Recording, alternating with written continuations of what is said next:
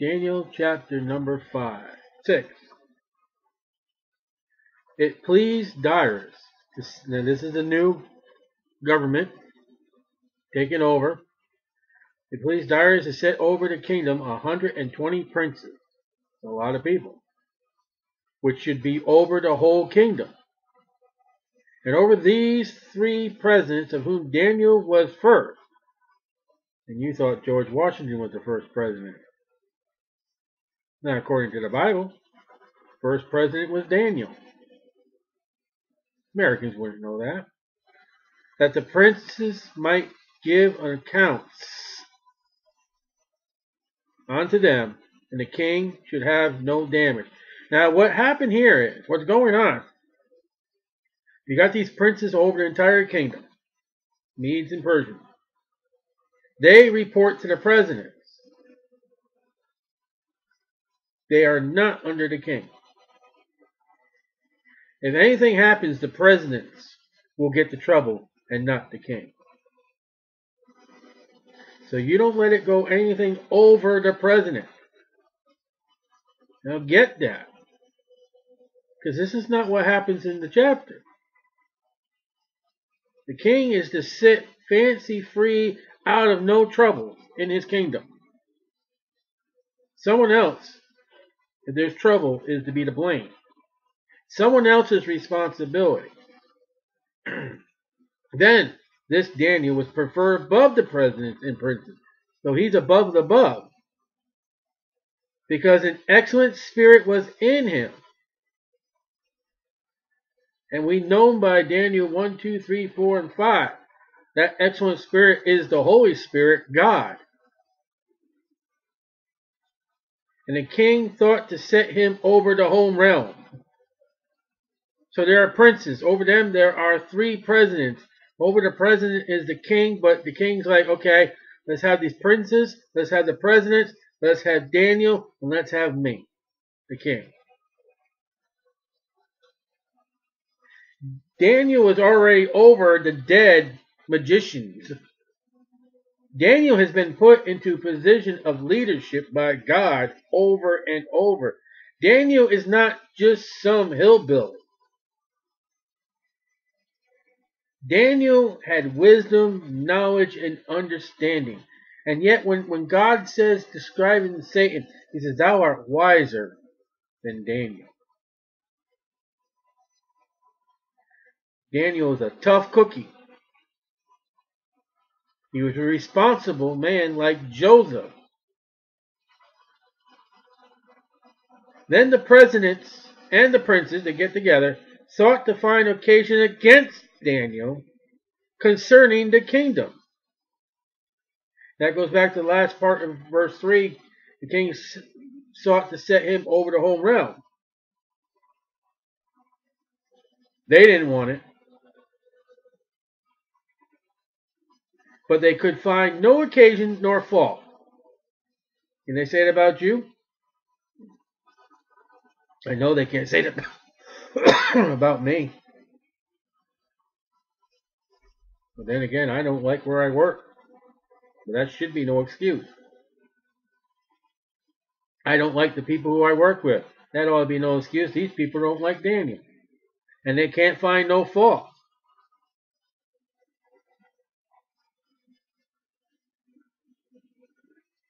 For as much as he was faithful, that's why he got these leadership roles. That's why he got where he was. That's why he got the promotion. It's not who Daniel knew besides God. It's what Daniel knew. God. For as much he was faithful. Could they find no fault in you? Can they find you to be faithful? I I've had the faithful part. Man, if I don't show up to work when I when I'm when I'm supposed to be there, man, they start calling my phone number. I've had that happen several times. You know, one time I overslept the alarm clock. One time I thought it was a different day I was supposed to. Man, they're texting, calling me. You're not here. Something's wrong. Neither was there any error or fault found in him. Daniel did his job the way it was to be done, exactly how it was to be done, and he didn't steal time.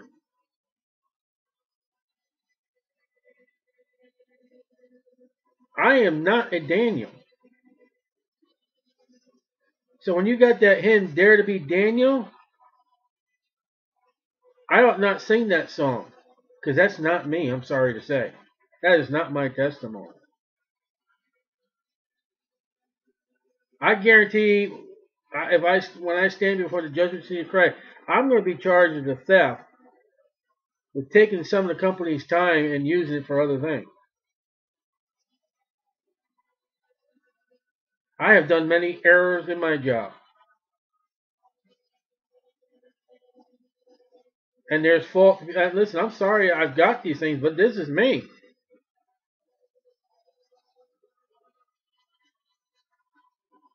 And this and another job I had before is I didn't start. I just don't care. Maybe my next job, my career, maybe I will have a little Daniel in me. I hope to have Daniel. Listen, when you go start a new job, you better say, Lord, bless it. And say, Lord, let me be like Daniel. Then I can sing that hymn.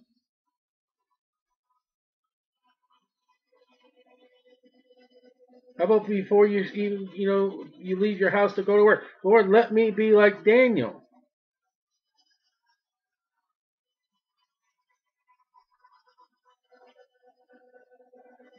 And then when you get in trouble because it's not your fault, like Joseph, you still end up with the same position you get, even though you're sitting in a dungeon somewhere.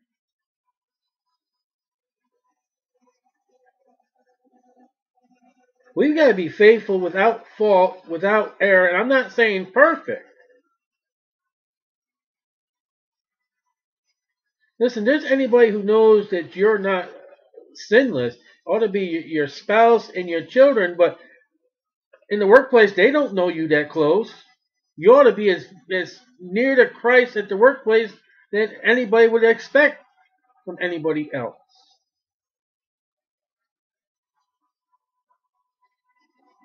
But you gotta understand, we're sinners.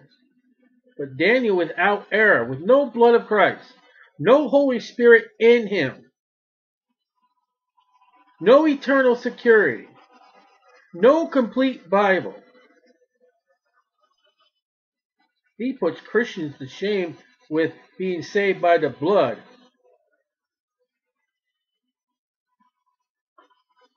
We need to be more like Daniel. Then said these men, We shall not find any occasion against Daniel. Somebody who knows you and wants to get you in trouble, your job, the police, or whoever, can they find something in your life to do it? Would they have to search? Except we find it against him concerning the law of his God.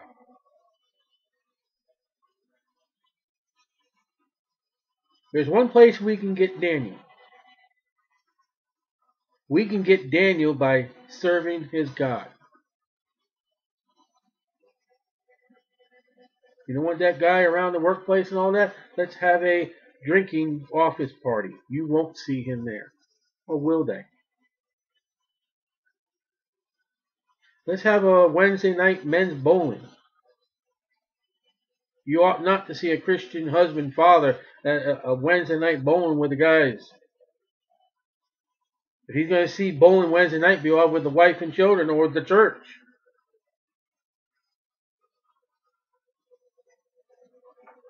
Let's ban the Bible. Let's burn the Bible. Let's get rid of the Bible so he can't read it. Let's make him work on Sundays. Let's make him work in midweek. I'm, I'm under that. I've been giving hours now, and I think it may be affecting my Sunday morning service to the Lord. And right now, I don't know if I should take that step to say if they're going to do that and not help me. And say, all right, fine. I, I'm thinking, praying about goodbye. That's a hard choice. I don't know what the Lord has next for me with, with his job market.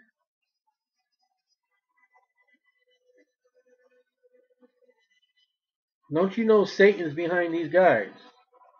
He wants Daniel to, to fall. He wants Daniel to fail. I mean, to fail.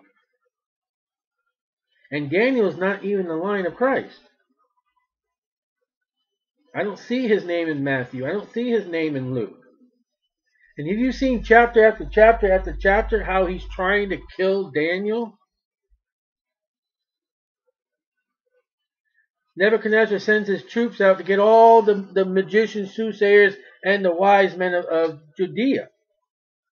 Now he's going to be cast into a lion's den. Then these presidents and princes, except Daniel, assembled together the king, and said thus unto him, King Darius, live forever. And that's just a standard, you know, sugary, diabetically, uh, butter uppy, put the king down as a fatted calf to, to, to roast them up and get a lot of food. Oh, that is.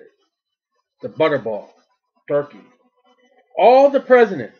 Well, not all. Because if it was all the presidents, Daniel would be there. But all the presidents of the kingdom. Darius should be saying, all of them, where, where's Daniel?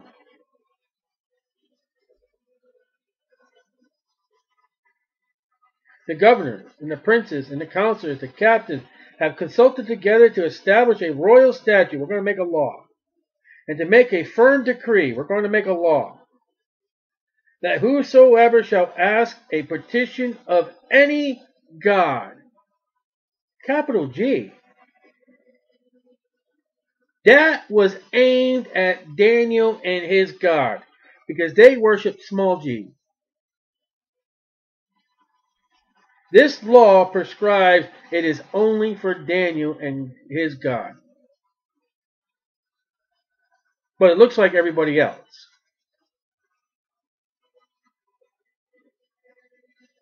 Or man for 30 days. Okay. you can't pray to God. Nor can you ask a man for anything for 30 days. You got a cigarette? You got a light? You got 50 cents? Can I get a ride? You can't have it 30 days. A guy sitting outside of Walmart with a sign, please give me some money. That'd be against the law, if it's not already. You can't ask anything of God. You can't ask anything of man. Well, you know what you know about these guys? First of all, they'd never pray to a God because if they did, why would they pass this law? They'd be, they'd be violating their own law. And if they did pray to gods, they didn't care. We'll just shut our mouth for 30 days. Who cares? And we're not going to ask any man of anything. What kind of pride there? Even I ask people things that, you know, I'm not going to ask him for nothing. Save thee, save of thee. Revelation 13, 15. O king. Now here we're back to the flattery again. You know, only one who can pray in this realm, in this kingdom, is you, king. But all of us, your, your royal subjects, we can't pray for 30 Bible days, which is a month.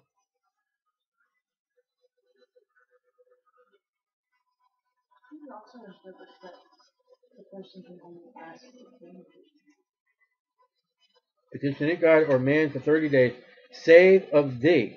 Which, yeah, it could mean that too. Anybody can come to you.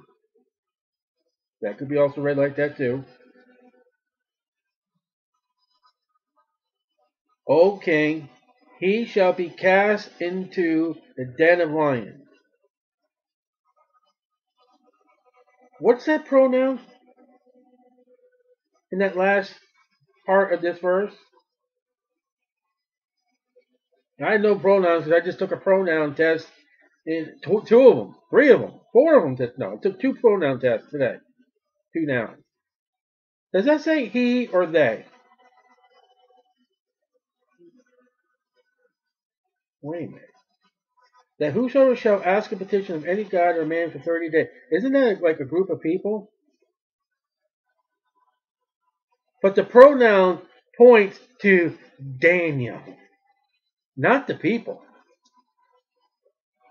This law is written to God of Daniel, the God who is who uh, who is of Daniel, the God of the Jews, Jehovah, and this law is pointing at he will shall be kept. It's pointing at Daniel. This is Daniel law number one one, whatever you want to call it. If anybody after this this law is signed, anybody who makes a petition after this law is signed, they're not going to go after them.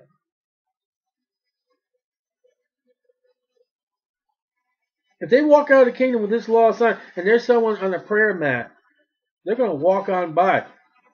But oh, when one man gets down to the law.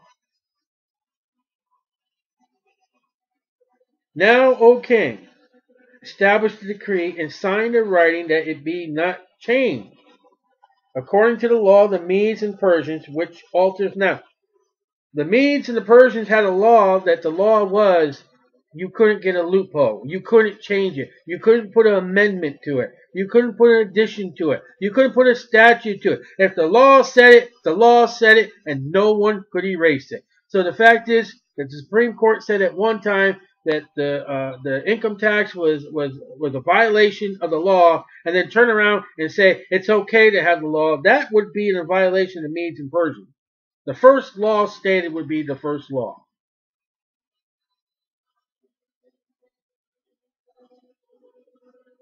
Wherefore King Darius signed the writing and decree. He didn't pray. We're talking about prayer. Don't you think King, okay, I'll, yeah, let me pray about it first. He doesn't pray. He's missing one of his most important loved men. And he's not sitting there scratching his head like, where is this guy? And all of us have gotten together, King. You signed this thing and you're missing somebody.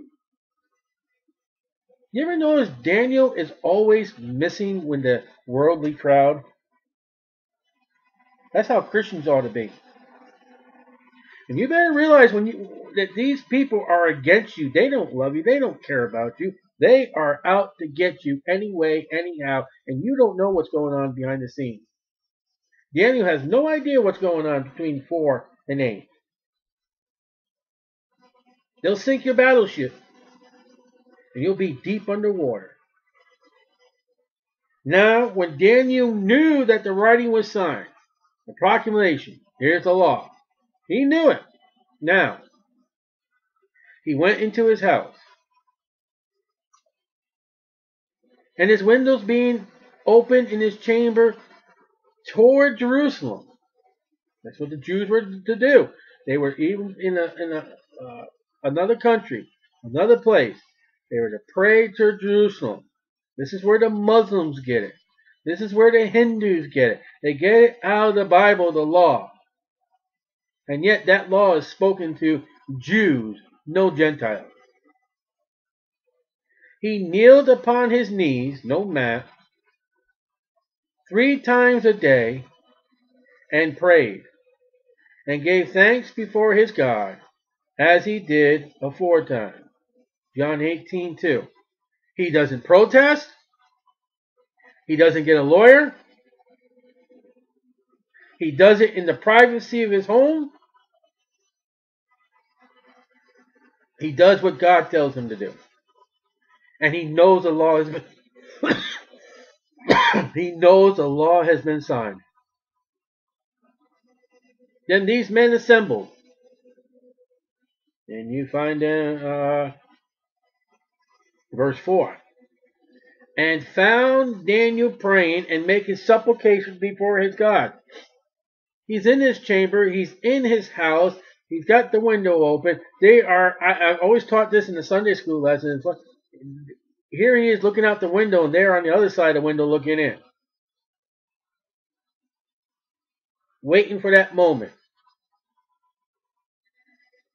that Daniel would get on his knees and pray. Now we got them.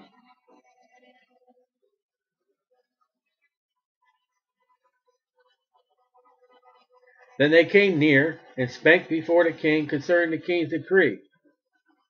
They don't even arrest Daniel. They just leave him there. They go running off to the king. Hast thou not signed a decree, which he did, that every man that shall ask a petition of any god or man within thirty days, save thee, save of thee, O king, shall be cast into a den of lions? And the king answered, said, The thing is true, according to the law of the Medes and Persians, which alters not. Yeah, I did that. Now he's going to feel out how his his lame rulership, how lame it is. Then answered they and said before the king, That Daniel, which is of the children of the captivity of Judah, ooh, they hate Jews, regardeth not they. Why? O king, nor the decree that thou hast signed, but maketh his petitions three times a day. Why is that against the king? The whole thing was this decree. All the king did was sign it. He went against the law, not the king. But they're trying to make it personal now. They're trying to get the king angry.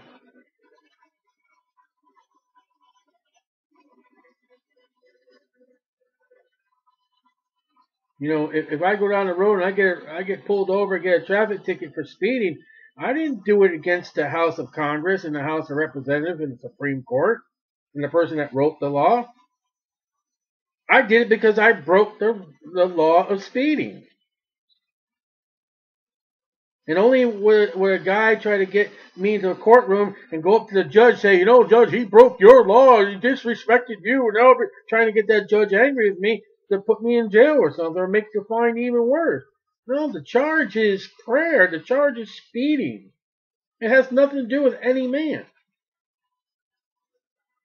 I bet the king signed plenty of laws. Then the king, when he heard these words, was sore displeased with himself, conscience, and set his heart on Daniel to deliver him, and labored till the going down of the sun to deliver him. There's no blame but blaming himself. It is his fault that he's in the predicament he is and Daniel is now in.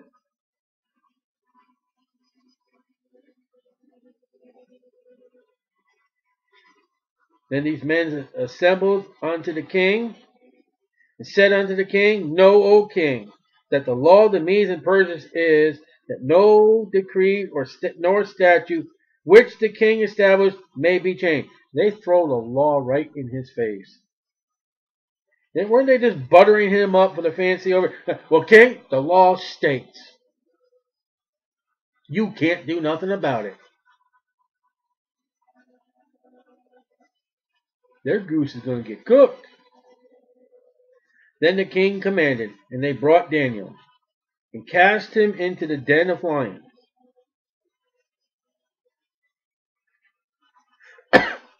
Anybody normal would not come out of this place. I assume these lions would be very hungry. They wouldn't throw people into lions that were full. That have no purpose.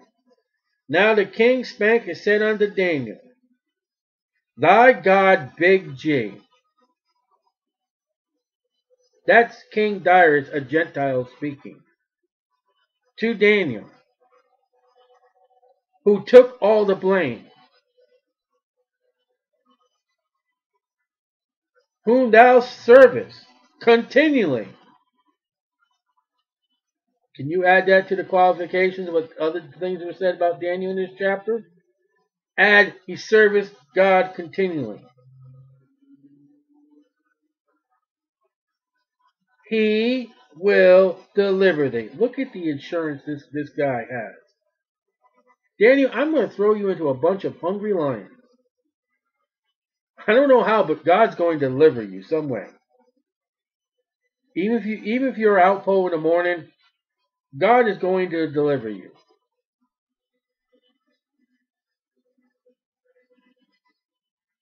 There are Christians that don't even believe they can they're eternally saved. They doubt. And a stone was brought. Does that sound familiar? And laid upon the mouth of the den. Does that sound familiar? And the king sealed it with his own signet. Does that sound familiar? So uh, Darius becomes Pilate. Daniel becomes Jesus Christ. The lions are, are almost a type of Satan. I've got a poem out there called Lucifer's Feast about Jesus Christ being the Lamb of God. He's cooking and juicing and all. Satan has got his little, he's watering and he doesn't get the dime.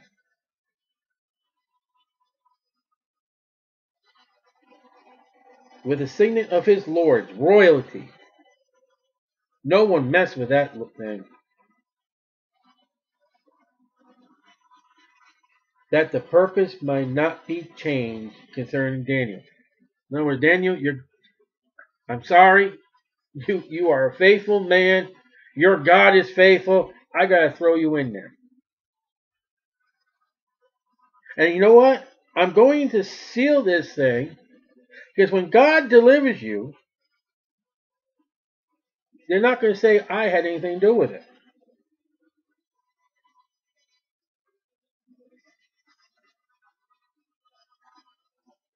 it's amazing because when the Romans threw Christians to lions and all kinds of beasts, they would sit in the Colosseum and watching. I gotta wonder, when they did this to people, did they watch or they just throw them in a den and like Danny leave? Was it entertainment? Then the king went to his palace and passed the night fasting.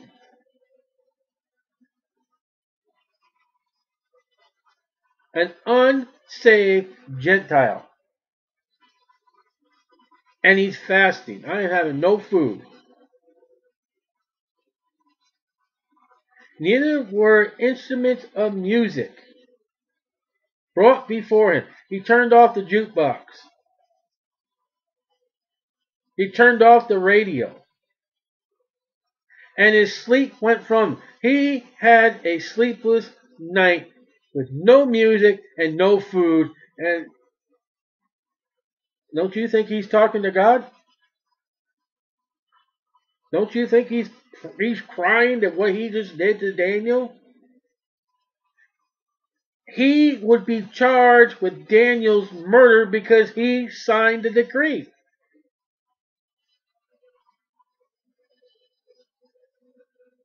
Now, wouldn't you think that the God of heaven that we know and love, that, that says, uh, uh, uh, For God so loved the world that he gave his only begotten Son, that whosoever believes in him should not perish but have everlasting life. If this king is in this thing right now, don't you think that loving God reached out and worked with him during this? Possibly salvation? Well, everybody to you saved, Belshazzar wasn't saved. Absalom wasn't saved. Saul, King Saul wasn't saved. Then the king arose. Now, see, arose doesn't mean he, he slept. He told you he slept. He was laying on his bed or sitting very early in the morning. Who's that? Mary. And went in haste unto the den of lions. And when he came to the den, he cried with a lamentable voice unto Daniel. And the king spake and said unto Daniel, Oh, Daniel, how is this said? Is this said with confidence that I, he will deliver thee? Is this said that trembling that what the error of his how do you voice these words? Did he have a little fear? O Daniel, servant of the living capital G God, is thy capital G God, whom thou servest continually? That was the last words he said to Daniel. Able to deliver thee from the lions. And it's the first words that he reaches out to a man that could be dead.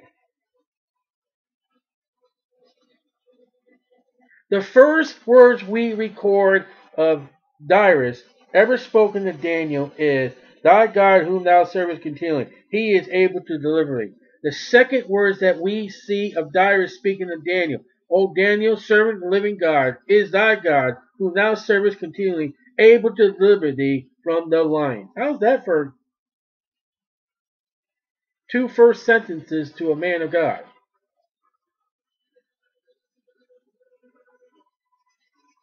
What was Darius looking for?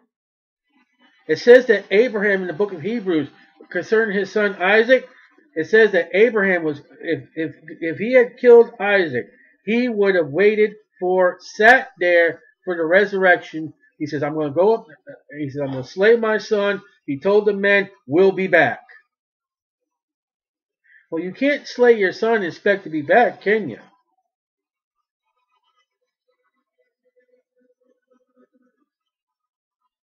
How much faith did he really have in God? I'm talking about Darius. Oh, wait a minute. You got lions here, right? And you throw somebody in there. Are you going to call and say, oh, Daniel, servant of the living God, are you really going to expect him to come to start speaking if he became lion food?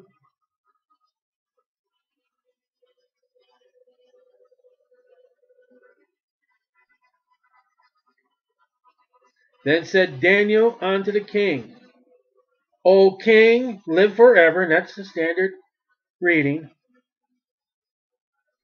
My God, capital G, has sent his angel now, now watch this. And has shut the lion's mouth. They were ready to devour him. Angel stepped down and said, No, you just keep that thing shut. There's more than one lion down there. He's holding that one's mouth and he's holding that one's mouth. Now, didn't God open the mouth of an ass to, to speak to Balaam? God has the power over animals that he does not have the power over man. That angel went down and told each one of those lions, you just keep your mouth shut. Man, I want you to go over there and tell them about Jesus Christ. Mm-hmm.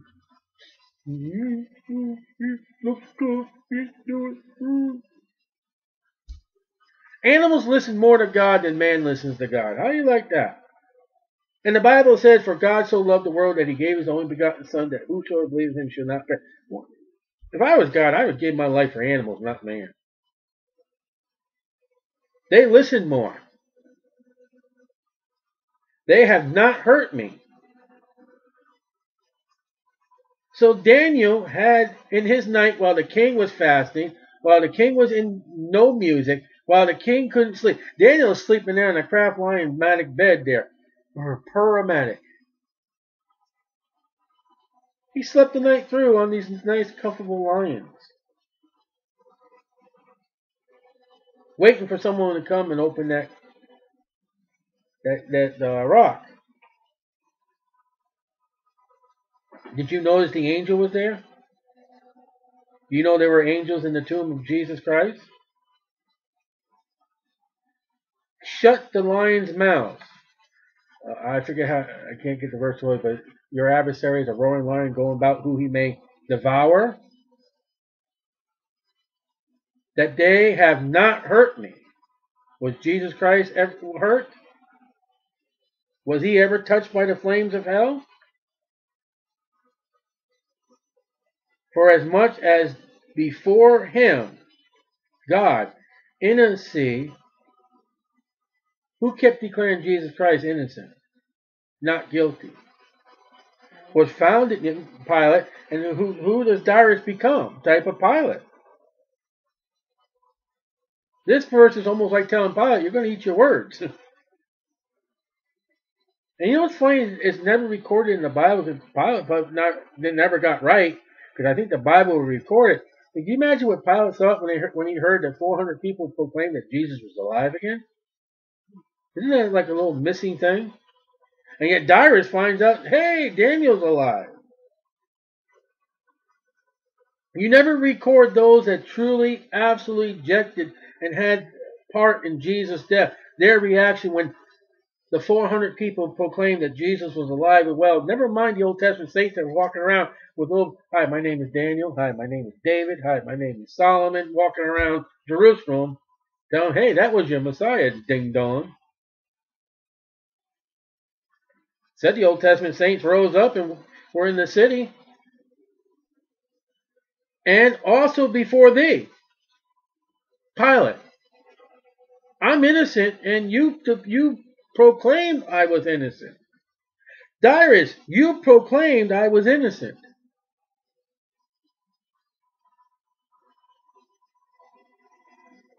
Now, did you get that?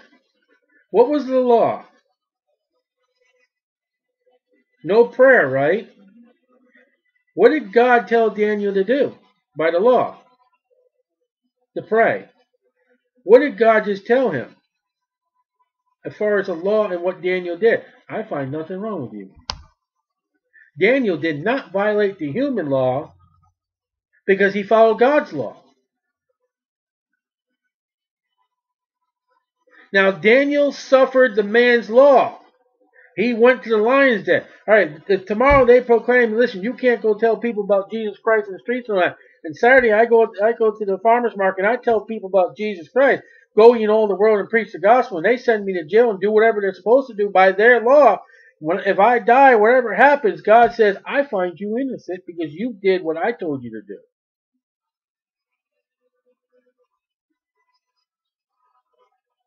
That's a remarkable statement by the Holy Spirit there. In the eyes of man, Daniel was guilty. In the eyes of, of the book of Acts, the, the, the Pharisees and all that, James and John were guilty. In the eyes of God, they weren't guilty. Paul and Silas were guilty in the city of the law, but in the eyes of God, they weren't guilty. That's a remarkable statement right there. O king, have I done no hurt?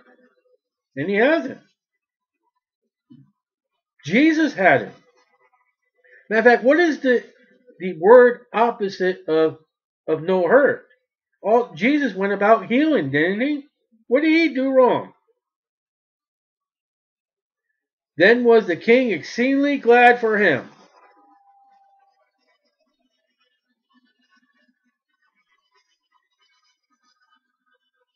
Daniel or God?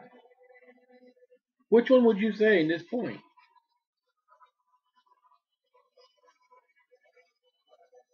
Now, Darius becomes God the Father. You imagine that moment when Jesus Christ came back to the heavenly throne and stood before the cherubim and four and twenty-four elders and all the angels and his father said, You imagine what, what, what celebration heaven had when Jesus came back in victory? And commanded that they should take Daniel up out of the den. He's not here. He's risen. They took Daniel up out of the den. He's not here. He is risen. The king arose very early in the morning. Well, wait a minute. Let's take that king. Who's the king of kings? How did Darius become Jesus Christ? Take Daniel up out of the den. So Daniel was taken up out of the den and no man of hurt was found upon him. Well, Jesus has got nail holes in his hands and his feet, and a wound in his side from the spear. Daniel's not a type of Christ all the way.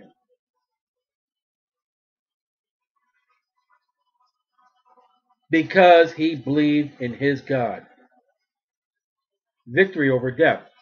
Daniel should have died. And the, Jesus died. Daniel didn't die. And the king commanded, and they brought those men which had accused Daniel, and they cast them into the den of lions. Them, their children, their wives, and the lions had a mastery of them, and brake all their bones in pieces, or ever they came at the bottom of the den. No angel for them. No protection from God for them. Then Darius wrote unto all people, nations, and languages. That's what Nebuchadnezzar did. Go in all the world that dwell in all the earth. Peace be multiplied unto you. That's the standard greeting. I make a decree that in every dominion of my kingdom men tremble in fear before the God of Daniel, capital G. For he is the living capital G. You think this guy is converted? And steadfast forever, and his kingdom, not Darius's, God's kingdom, that which shall not be destroyed, out of mouth confessions made unto salvation, and his dominion shall be ever unto the end. Really, there's no end. He delivereth and rescueth, he worketh signs and wonders in heaven and in the earth. Forget the other gods. Forget astrology. That's that's astrology. Look at the heavens and the stars. Who has delivered Daniel from the power of the lion this is Darius's law. This is Darius's testimony. Recorded in the books, and I don't know if they found this yet, um, but here it is in the Bible. And if you were to find these fragments somewhere and, and be able to read them, it would be Darius believing in the God of Daniel. So that this Daniel prospered in the reign of Darius and in the reign of Cyrus the Persian.